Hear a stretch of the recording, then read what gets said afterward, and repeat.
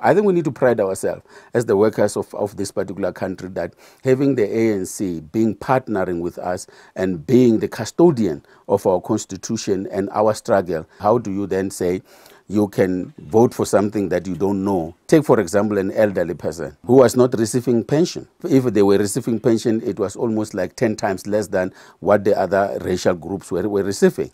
And that person will tell you concretely, today, ever since I turned 65 years old, as a, as a man, I have been receiving my pension. Ever since I turned 60 years old as a, an elderly woman, I'm receiving my pension. Today, there's a child who is receiving child grant at the level of the school because the parent may not be working. So that child knows I'm going to school and I'm going to get food. At the same time, my parents are receiving child grant. Those things were not there. So we can talk about concrete things that were there. Mm. But SADTU is part and parcel of the revolutionary movement that has been fighting for the rights of the workers and will continue to do that. Clearly, it is that basic education that we are receiving today. One of the, the, the, the achievement is that we have been able to open schools. Mm -hmm. The enrollment is so huge because the ANC came and said, look, we want any child who is below the age of 15 to receive free education. Mm -hmm. And not only free education, but also free meals that accompany education because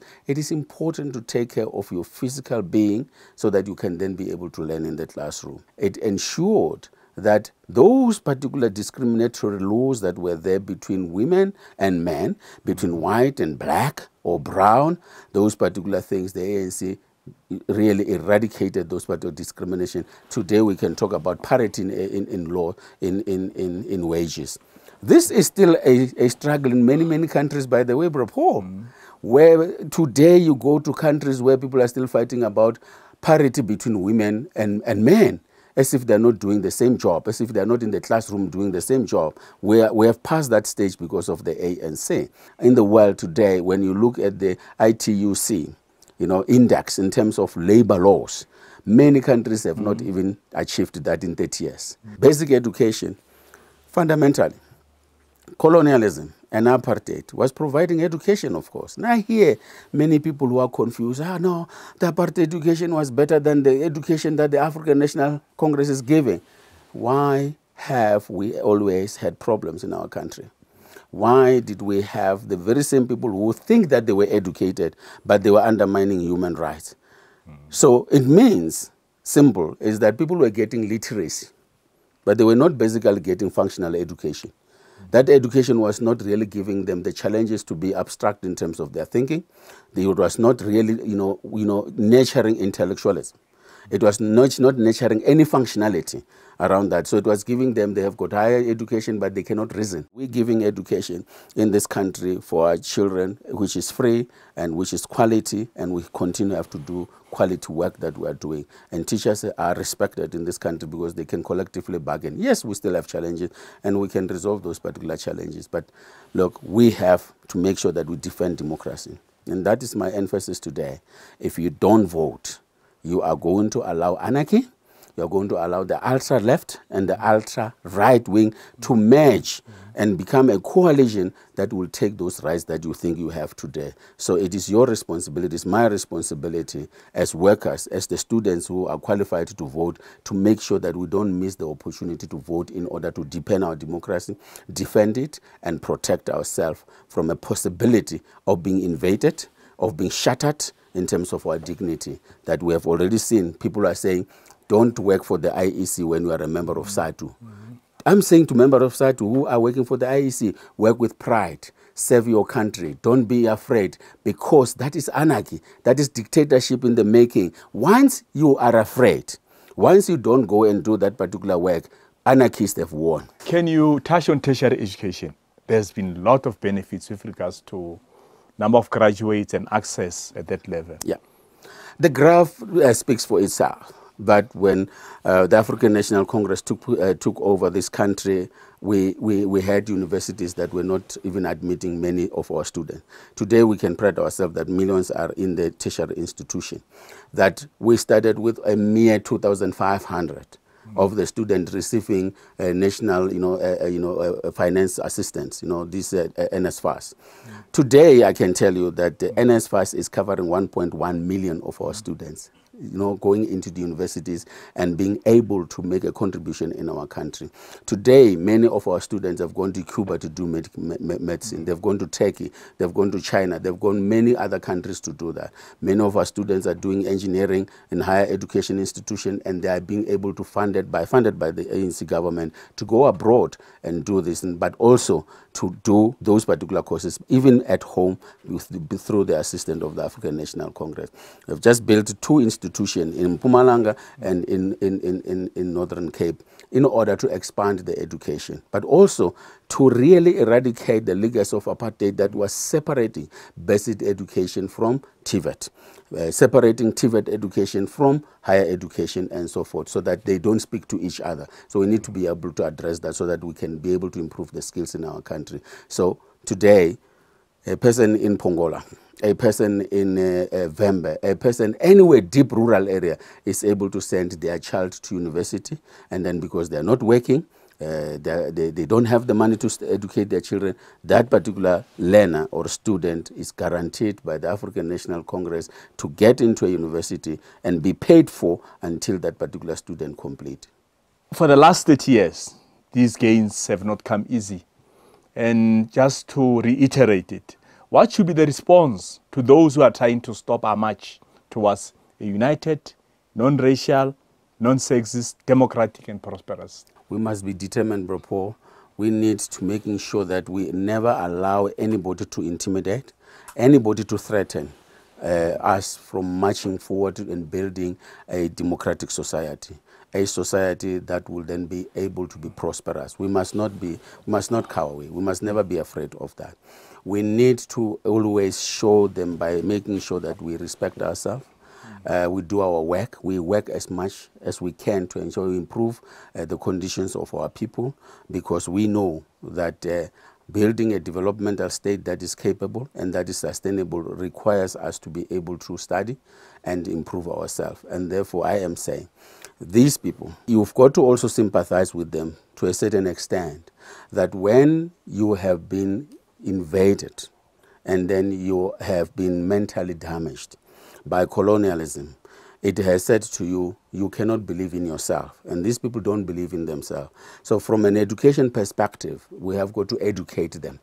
These who want to derail our project uh, of democratizing our country. We have got to provide education. We need to be able to sit them down and explain to them why it is important for us to do what we are doing today. Secondly, about from education as well, it is that we have got to making sure that unity in this country um, is not is non-negotiable because it's only throughout the unity for our people that we can build social cohesion. And having to do that means we can be able to deal with the ills that have been created by colonialism and apartheid. And therefore, we need the unity of our people. And therefore, we shouldn't um, really uh, stay away from them. The question would be, Brapo, why is it that Africans in particular, and the black people in particular in this country, are forming so many parties? Mm -hmm. Instead, so it, it means we still have got a lot of work to do. That it is not about the formation of those so many parties. It is about us uniting ourselves and then be able to change the lives of our people by making sure that when we are united, we can utilize our minerals.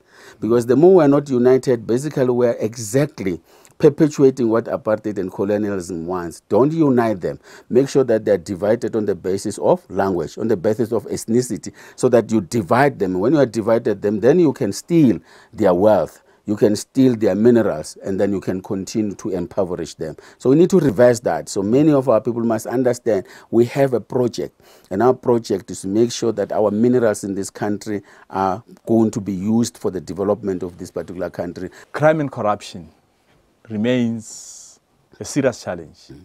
This scourge in our country, how can we fight these evils? If I go and corrupt somebody and then I become a corrupter and the other person is a corruptee, so mm. if I don't go and corrupt somebody, there will be no corruption. Mm. If I don't accept bribes, there will be no corruption. If I don't go and steal and then there is no buyer for what I steal, there will be no crime at the end of the day. So we've got to deal with this thing from a basic level mm. and say we have got to be ethical. Okay, we have got to be revolutionaries in the true sense of the word. That revolutionaries serve people. Those who are working for government and are involved in corruption, we must expose them. We must never be afraid. Whether it's minister, whether it's uh, DG, whether it's me, we must never be afraid of exposing that. The law is there. Mm. The law obliges everyone in this country to report any corruption that we see, and therefore we have got to do that. If we don't do it, we are complicit, Paul. It means we are going to promote criminal activity whilst we are saying we are afraid. This weekend, mm. the 3rd and the 4th of February, is voter registration weekend. Can GS on this platform make a call to young people, citizens, all those are, that are eligible voters who are not yet registered to do so? For me, is to call upon the young people of our country and say to them, we owe it to those who fought for our liberation. We have got to pay our debts. And for me and you who today are still breathing, when the others have lost their life fighting for this franchise of voting, I'm making a, an, a clarion call today to say, please wake up on the 3rd, the 4th, and go and, and, and register. It is the responsibility of each and every individual to defend democracy. It is my responsibility, it's your responsibility to exercise that particular right of voting. But to do so, we're not only voting, we have to hold those who vote accountable.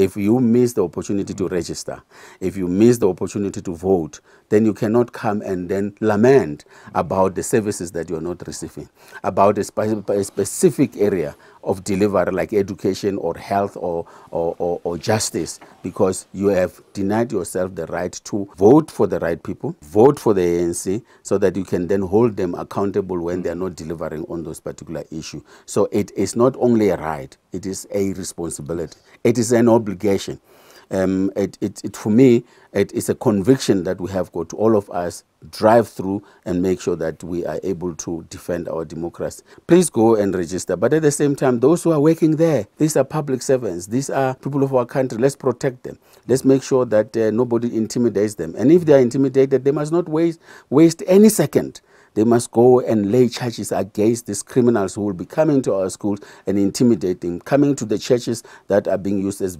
as voting stations to go and make sure that they lay charges against these particular criminals. Because these criminals are not only going to steal our democracy, but they're going to steal our freedom. They're going to steal our rights. So don't allow them to take the first one, which is a democracy, for you to decide on whether to vote or not vote. It is your right to vote, and therefore nobody must determine how you vote and who you are going to be voting for, and then intimidate you on the basis that you're a certain member, therefore you cannot work. These are criminals, mm. and they must be known like that. They are criminals.